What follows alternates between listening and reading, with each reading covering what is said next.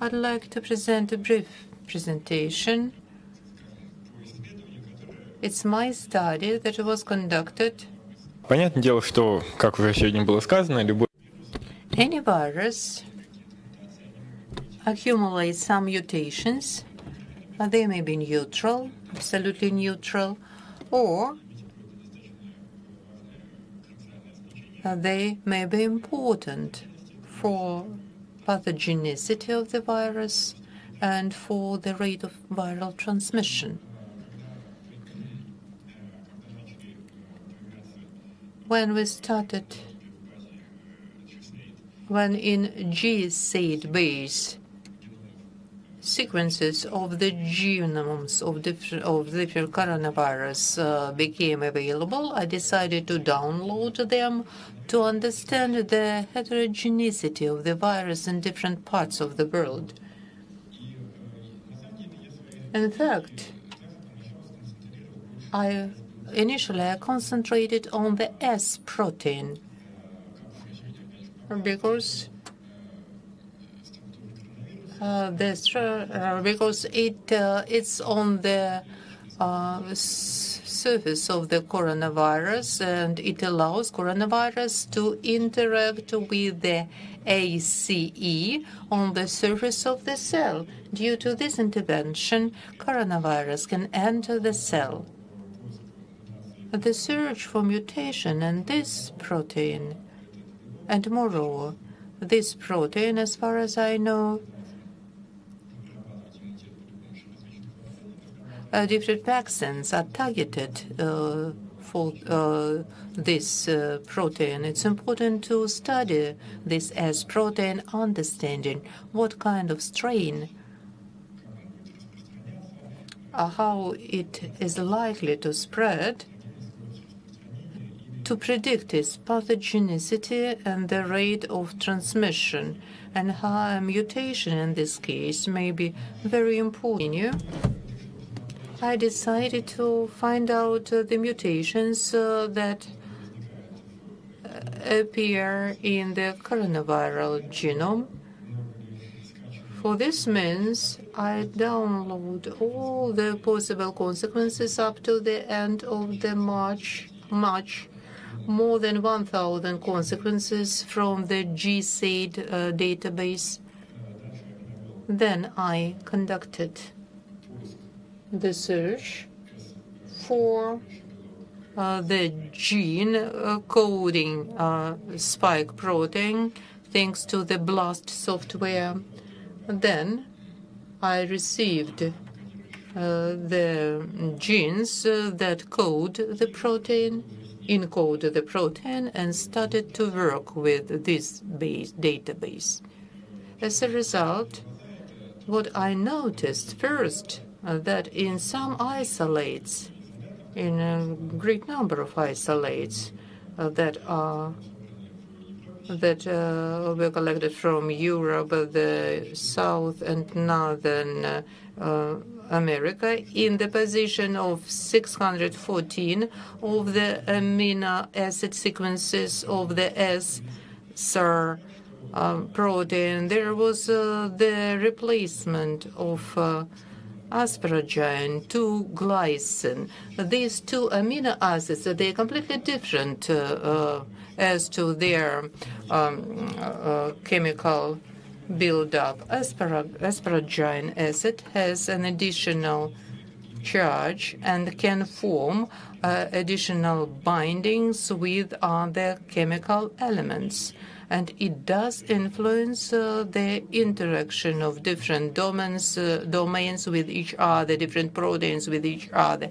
And the replacement of this amino acid to glycine may be critically important for the function of the protein and uh, the, for the structure of the protein. Apart from this, glycine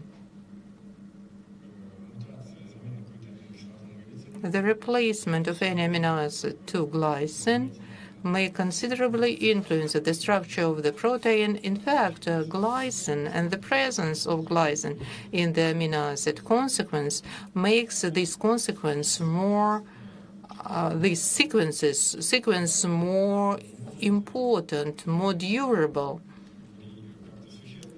It can greatly influence uh, the property of the virus, uh, the strains of the virus with this uh, sequence of amino acids. I am waiting for the picture to be displayed to show the spread of these mutations in different isolates. I'll try to speak without visual aid. If we look at the result of the assays of the tests, we can see this asparagine acid is more typical of the isolates that were detected in the beginning of the epidemics, and they were detected in Asia. And hooray. I've mentioned this here.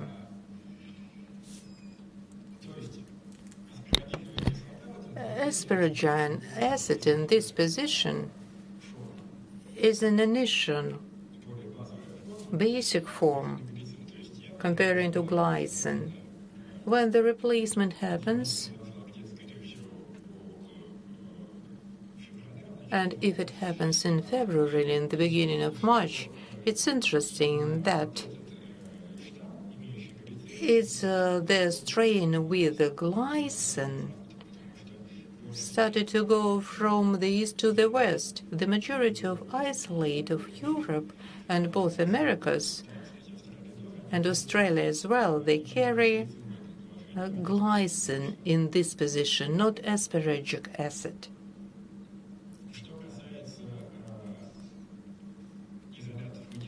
As to isolates so that we are cultured and isolated in Russia, they were analyzed. For them, it's most typical to have glycine in this position uh, rather than asparagic acid.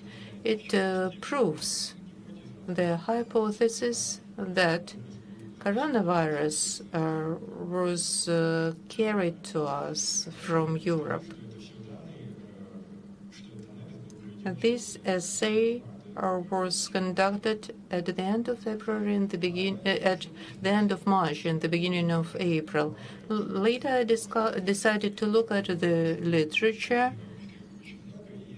to find out uh, that uh, somebody had the results.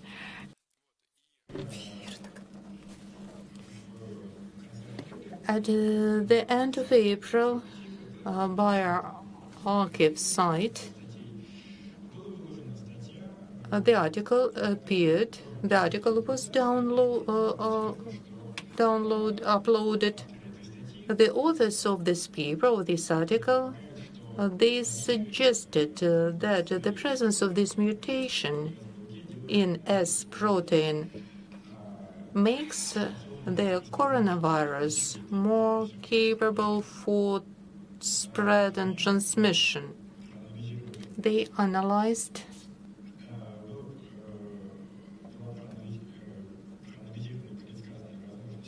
they analyzed and uh, predicted uh, the influence of this change uh, on the structure of the protein. Two hypotheses were, they came up with two hypotheses how this mutation can influence uh, the transmission rate of the virus. It was shown that probably this mutation did influence uh, the conformation of the S protein and its uh, property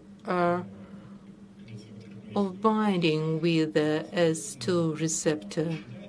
It's not. It's considered that the presence of this mutation makes this interaction more durable and the virus is attached to the receptor longer, it gives uh, the capability to the virus to enter the cell more effectively. It's considered that this mutation even can influence the effectiveness uh, of the binding of neutralizing antibodies with this protein. If a person um, uh, had uh, strain uh, with uh, the asparagine acid in this position, maybe neutralizing antibodies may be not more effective. against this strain. And quite recently, another article was published that says that this mutation can considerably enhance viral infectivity and decrease uh, neutralizations of uh, sensitivity to individual convalescent sera. I haven't published my results.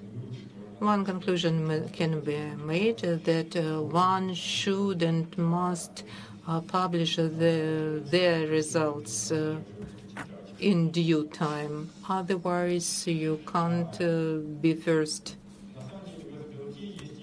S protein, in fact, has other important mutations. One of the interesting ones, it's the first mutation that was found only in Belgium. It was found also, these isolates were, did, were found before all the borders of Belgium uh, became closed. And it's not clear why this uh, strain uh, was not uh, transported to the other countries. Now, the information about how these mutations may influence the property of the virus, uh, there is no data in literature. They are just described in the literature without detailed characteristics. All alone, the conclusion can be made uh, that the replacement of uh, asparagine as amino acids to glycine in SARS-CoV-2 can be interesting and may have important implications for the transmission of the coronavirus and for the development of and effectiveness of a vaccine. Thank you for your attention.